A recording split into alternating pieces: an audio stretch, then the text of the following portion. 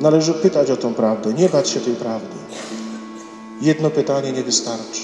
Potrzebne jest drugie, a może i trzecie, i więcej tych pytań dotyczących tego dramatu.